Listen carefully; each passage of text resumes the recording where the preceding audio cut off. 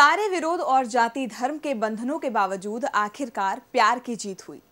Love जिहाद के नाम पर हिंदू संगठनों के विरोध के बीच करीब 12 सालों से एक दूसरे को प्यार करने वाले शकील और अशिता विवाह के बंधन में बंधे और इस खुशी के मौके पर परिवार वाले और सगे संबंधी उनके साथ थे।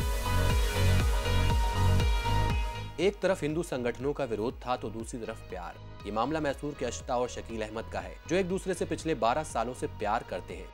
लेकिन जब इन्होंने शादी करने का फैसला किया तो कई हिंदूवादी संगठन इनके विरोध में उठ खड़े हुए और दोनों के प्यार को लव जिहाद का जामा पहना दिया।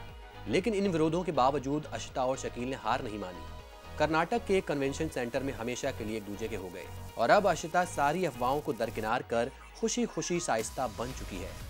अशिता और शकील स्कूल और कॉलेज में भी साथ ही पढ़े थे। दोनों ने एक ही साथ अपना एमबीए भी पूरा किया था।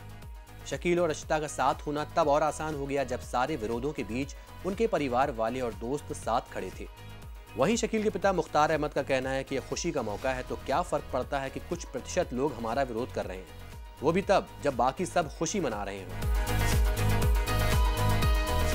जी हाँ तो क्या फ़र्क पड़ता है? जब मियाँ बीवी राज़ी तो क्या करेगा काजी? कुछ ऐसा ही हुआ इस मामले में। देखते रहिए डीबी लाइव, क्योंकि यहाँ है खबरें लगातार।